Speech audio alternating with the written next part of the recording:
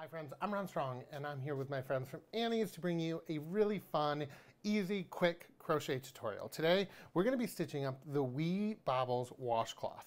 Now this pattern was designed by Darla Sims and it couldn't be easier. All you're going to need is a 5 millimeter H8 crochet hook. You'll need a ball of worsted weight cotton yarn. You can use your favorite brand. Um, today I'm just using something I had in my stash. You'll need some um, scissors and you'll need a tapestry needle to even ends, obviously at the end. So let's talk about um, how this is stitched up. So as you can see, I'm a little sample here. I still have my yarn attached, but I crocheted this up so quickly. And it's got this really great texture that are all these little bobs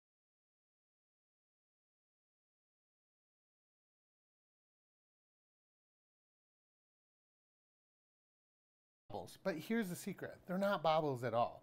We're just going to work with different stitch heights to create this really cool nubby effect, we'll call it.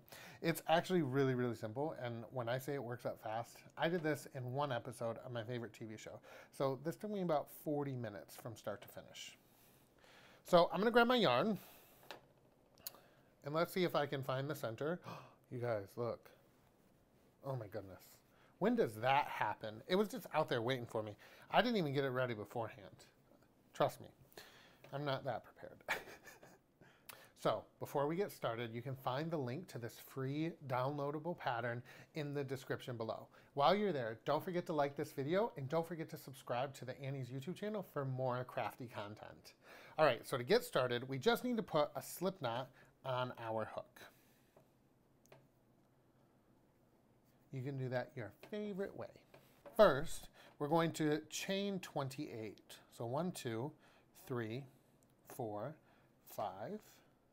So once we have our 28 chains, we're just going to simply insert our hook into the second chain from the hook and pull up a loop and then yarn over pull through two to work our first single crochet. Then we'll single crochet in each stitch across for a total of 27 single crochets. So after you've worked single crochets in each of your chains, when we get to the end, we're simply going to chain one and turn our work.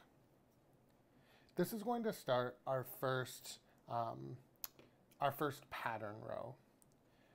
So for that, we're going to single crochet into our first stitch. Then into our next stitch, we're going to work a triple crochet. So to do that, we wrap the yarn around our hook twice, and we insert it into our next stitch and pull up a loop. We'll have four loops on our hook at this point yarn over, pull through two, yarn over, pull through two, yarn over, pull through two. Into the next stitch, we'll work a single crochet. Now, if you're a little eagle-eyed like I am and you turn it over, you'll notice that we've already pushed that triple crochet to the front. So we'll yarn over our hook twice, insert it into the next stitch and pull up a loop, yarn over, pull through two, pull through two, and pull through two. Into the next stitch after that, we'll pull up a loop and just work a single crochet. And that's all there is to this pattern row. We're going to alternate triple crochets and single crochets all the way across the row. Those triple crochets are forced to pop out because we're working single crochets before and after each of them. The difference in stitch height means that those stitches are just kind of forced to, to kind of go somewhere. And so they pop out and they create those little nubs, which creates our little wee bobbles, which is the name of the pattern. Cool, right?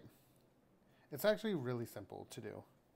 I liked this. And while I was working this up, I thought this would be a great um, pattern worked up in those scrubby yarns that are out on the market now. Um, I think that would be great for this because you would get some really cool texture, not just from the triple crochets and the single crochets, but also from the yarn itself because it's like a polyester yarn, right? So it's really rough or it's nylon, something like that.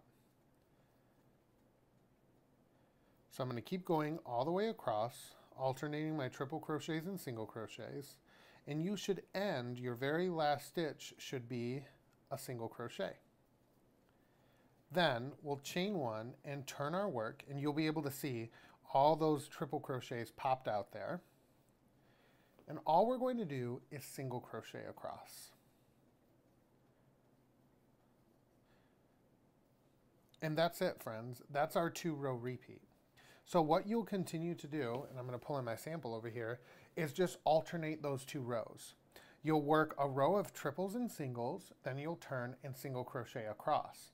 You'll turn again and work your triples and singles. And when you're finished, you'll have a piece that looks like this, and it's got all these beautiful little nubs on it. Now, after you have completed all the rows, the pattern is going to instruct you to work a row of, or a round, I should say, of single crochet all the way around your work. Then you'll work another round of single crochet, okay? But one thing I did want to show you was that there's a really pretty kind of picot slip stitch border. Now, I wouldn't normally add those to my washcloths because they just don't strike my fancy, if you will. but I know a lot of people love them, so I wanted to show you how to work those. So to begin your picot border, you're going to simply work a single crochet, a chain one and a single crochet into the same stitch. Then you'll chain three and slip stitch into the third chain from the hook. And we're going to do that two more times. So chain three, slip stitch into the third chain from the hook, chain three, slip stitch into the third chain from the hook. Then we're going to single crochet in each of the next four stitches. So one, two, three, and four. Then we'll do that again. So chain three, slip stitch into the third chain, chain three, slip stitch into the third chain, chain three, and slip stitch into the third chain. Then single crochet in each of the next four stitches.